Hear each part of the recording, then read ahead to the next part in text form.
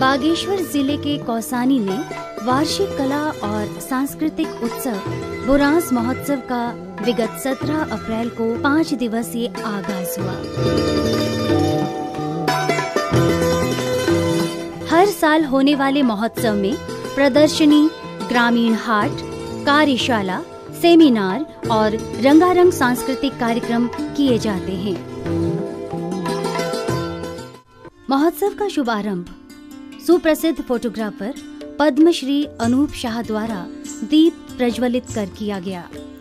वहीं आयोजक मंडल के थ्रीश कपूर व उपस्थित लोगों द्वारा पद्मश्री अनूप शाह को शॉल ओढ़ाकर सम्मानित किया गया।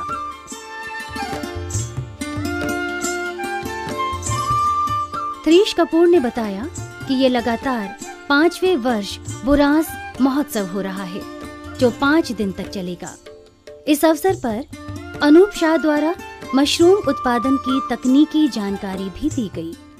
वहीं अनूप शाह द्वारा फ़ोटो प्रदर्शनी का अवलोकन किया गया। व उपस्थित अतिथियों को फोटोग्राफी के टिप्स भी दिए।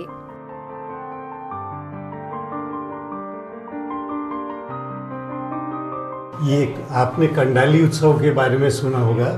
ये बारह साल में एक दफ़े होता है चौदास वैली में। तो वहाँ पे ये ट्रेडिशनल ड्रेस में एक लेडी है और ये जो आप देख रहे हैं, चंद, इसका जो हार है, मेरे ख्याल से चार पाँच किलो का शायद ये होता होगा।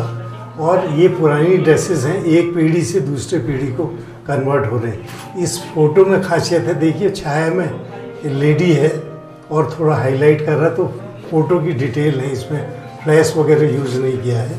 कभी हमें बड़ी इंटरेस्टिंग लाइट मिल जाए। ये कुमाऊनी लेडी है ब्राइड ग्रूम ये खासकर यहाँ कुमाऊनी नथ वगैरह है और ये गुलोबंद और ये सब जो आप ड्रेसेस देख रहे हैं, एक, जो ब्राइड होती है तो उसको ये दी जाती है। और दूसरा यहाँ से लैंडस्केप यहाँ के मशहूर हैं। ये एकेशिया का फ्लावर है। मैंने डेप्थ ऑफ़ फ़ील्ड कंट्रोल करके दोनों फोकस में है और ये शीतला खेत एक जगह है तो वहाँ से ये खींचा गया है। ये औसानी का दृश्य एक फोटोग्राफी वर्कशॉप में हम यहीं आए थे। तो ऊपर टॉप से पूरा नीचे की वैली है और ख़ासकर विंटर में जब कोहरा हो जाता है तो इस तरह के सीन्स दिखते हैं। केदारनाथ पीक आप देख सकते हैं, उसके जस्ट बैक में है। ये नैनीताल का सीन है।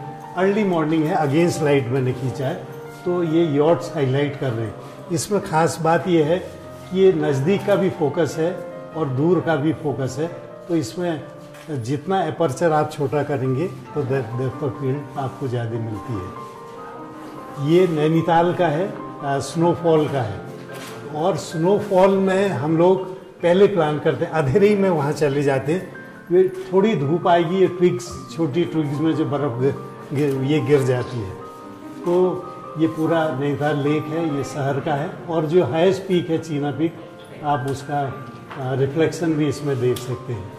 ये ट्रैकिंग के दौरान हमने ये गंगोत्री रीजन का ये फोटोग्राफ है नंदनवन का।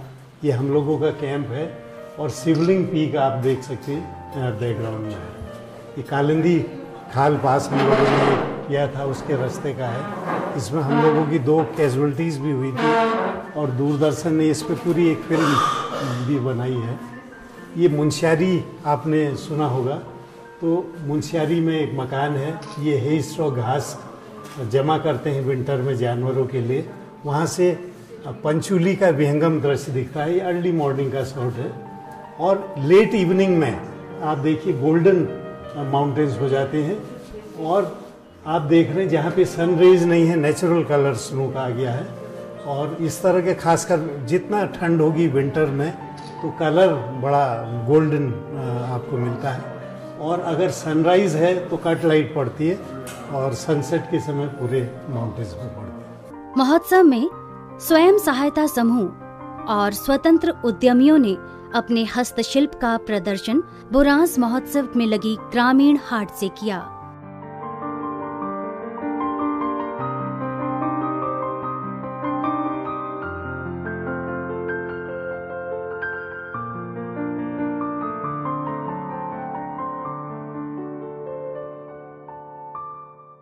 हमारे पास सबसे खास चीज़ आज जो है यहाँ के एन के द्वारा बनाए गए उत्पाद यहाँ के एसएचजी के द्वारा बनाए गए उत्पाद यहाँ के लोगों द्वारा बनाए हुए उत्पाद। एक आ, मैं आपको सबसे पहले चीज़ दिखाना चाहूँगा जिस फाइबर की बात करना चाहता हूँ तो ये आ, एक ऐसा फाइबर है जिसको बिच्छू घास कहते हैं हम लोग हिमालयन नेटल। और उस फाइबर से ये लोग इतने सुंदर स्टॉल बनाते हैं। इन्होंने उसी बिच्छू घास से इस तरह के जैकेट्स बनाने शुरू किए। हमारे पास भिकिया सेन की एक संस्था है जो ऑर्गेनिक चाय बनाती है हर्बल टी बनाती है और जितने दवाइयाँ हैं, चूर्ण हैं, आयुर्वेदिक चूर्ण है, वो बनाते हैं। उत्तराखंड चाय के लिए बहुत मशहूर है। उत्तराखंड की चाय बड़ी फ़ेमस होती है। और यहाँ की जो कौसानी की चाय है, इसमें ग्रीन टी इनका एक बहुत अच्छा ब्रांड है। ऑर्थोडॉक्स टी टी भी इनकी बड़ी अच्छी ब्रांड की है।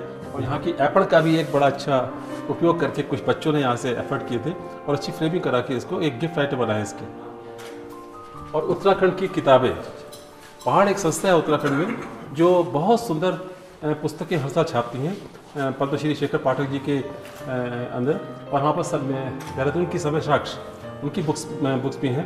मुंशारी यहाँ का एक बहुत सुंदर स्थान है जहाँ पर हैंडीक्राफ्ट के नाम पर वो लोग बहुत अच्छे रिंगाल का वर्क करते हैं कपड़े का वर्क करते हैं ऊन का वर्क करते हैं ये उनके उनका वर्क है। इस महोत्सव में शामिल होने के लिए देश विदेश से अनेक पर्यटक कौसानी आए हुए हैं। मैं पूना से आई हूँ। मैं दस साल पहले नैनीताल आई थी, लेकिन पहली बार मैं कौसानी आई हूँ और मैं कौसानी से मुझे इतना प्यार हो गया है। दो दिन बहुत कम लग रहे यहाँ और यहाँ का जो रिज़ॉर्ट है वो इतना फैमिलियर है तो छोड़ने का दिल नहीं कर रहा है, लेकिन समय की पाबंदी की वजह से हमें निकलना पड़ रहा है और कौसानी अतिशय सुंदर है, हम मराठी में कहते हैं, अप्रतिम है।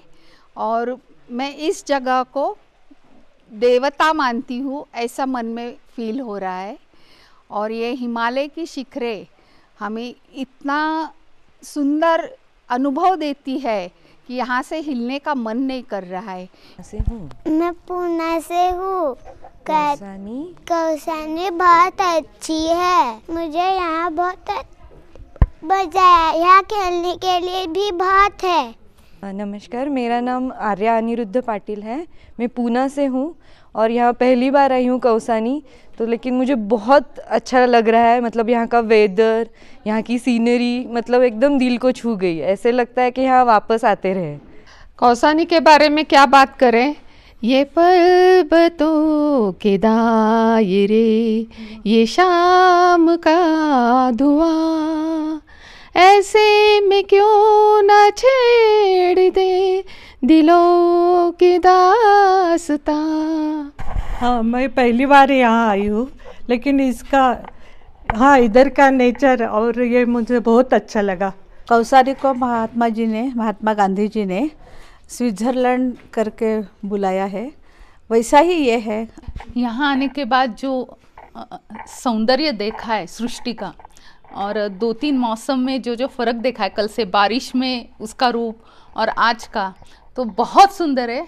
और सच में साल में एक बार कौसानी में आना चाहिए। यहाँ के लोग भी बहुत प्यारे हैं। कौसानी में आकर इतना अच्छा लगा कि यहाँ से जाने का मन ही नहीं कर रहा है। बहुत अच्छा लगा। और ये सब वैलीज दिख रहा है वो हर हर एक टाइम में अलग अलग रूप दिखाई दिखाई देता है। बुरास महोत्सव के दूसरे दिन अनासक्ति आश्रम से सरला बहन संग्रहालय तक हेरिटेज वॉक किया गया।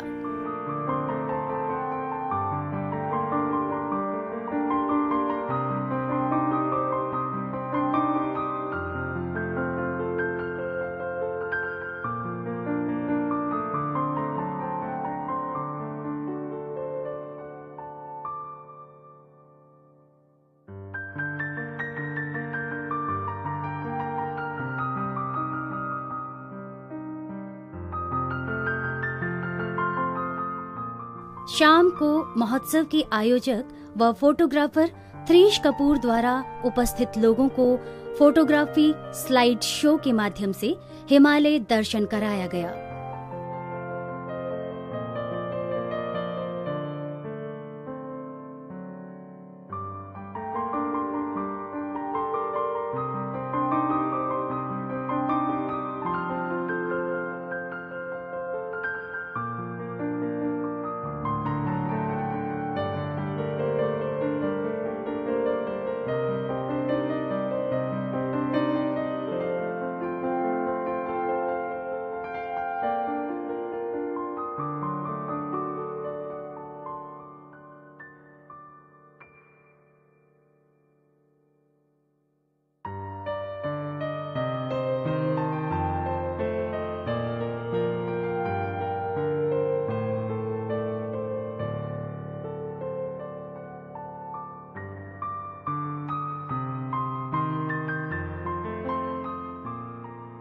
इसके अलावा, लक्ष्मी आश्रम में मस्तो गौरव श्रीवास्तव ने अहिंसा और हम विषय पर कार्यशाला ली।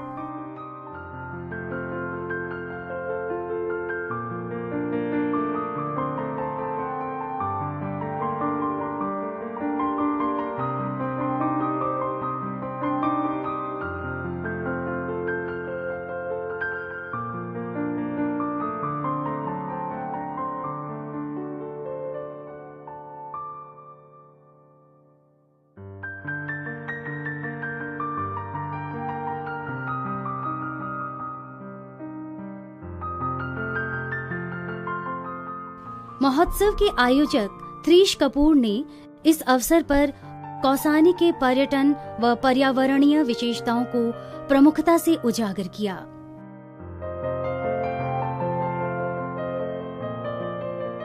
कौसानी, जिसको भारत का स्विट्ज़रलैंड कहते हैं, एक छोटा सा गाँव है, जो उत्तराखंड के अल्मोड़ा और बागेश्वर ज़िले के बॉर्डर पर स्थित है। अंग्रेज़ों के टाइम पर कौसानी एक टी स्टेट थी और इसे कौसानी स्टेट के नाम से जाना जाता था।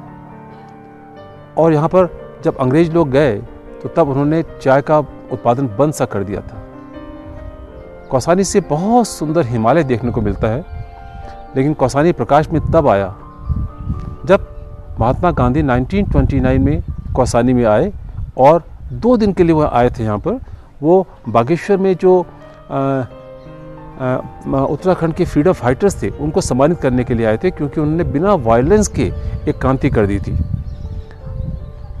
लेकिन गांधी जब कौसानी में आए तो जिला परिषद का डाकबंगला जो है वहाँ रुके थे और वो यहाँ पर दो दिन की बजाय चौदह दिन रुक गए। उन्होंने अपनी अनाशक्ति योग जो किताब थी उसका हर दिन एक ट्रांस एक श्लोक को ट्रांसफ़र करते, गीता के श्लोक को ट्रांसफ़र करते थे। उसकी प्रस्तावना उन्होंने यहीं पर लिखी और चौदह दिन के बाद जब अपने मित्रों को पत्र लिखते हैं तो कहते हैं, मुझे समझ नहीं आता, लोग स्वास्थ्य लाभ के लिए यूरोप या स्विट्ज़रलैंड क्यों जाते हैं, जबकि कौसानी यहाँ पर है? तब से कौसानी को स्विट्ज़रलैंड ऑफ़ इंडिया कहा जाने लगा। कौसानी में एक और बहुत मशहूर हस्ती, बहुत पोएट हमारे यहाँ पैदा हुए सुमित्रानंदन पंत।